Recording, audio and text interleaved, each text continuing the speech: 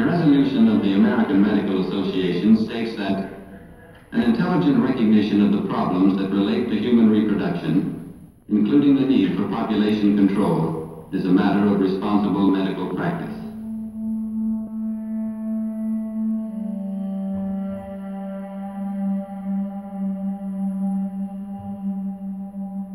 Tubal ligation can be accomplished either vaginally or abdominally. Has no effect on menstruation or ovulation.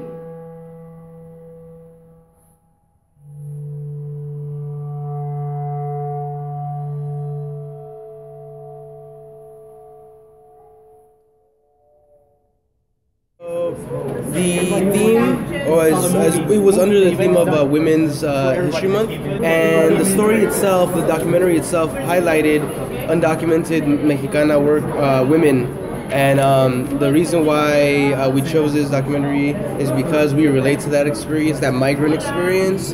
Um, the Lehman Dream Team, which I'm a member of, um, is predominantly led by undocumented and uh, just Latino, Mexicano, Chicano uh, peoples. Some of them didn't know anything. Some of them signed right in the midst of labor.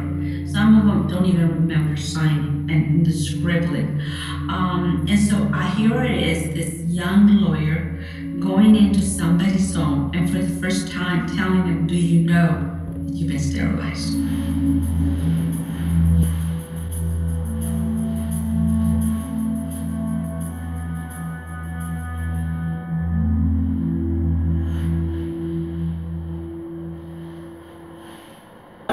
I think we just need to, you know, it sounds kind of like corny, but like we really do need to band together. You know, there were small victories, but at least they got something to, you know, they got uh, the they raised awareness for for you know bigger things to happen to be to be fixed, and it's just that is we need to stay informed.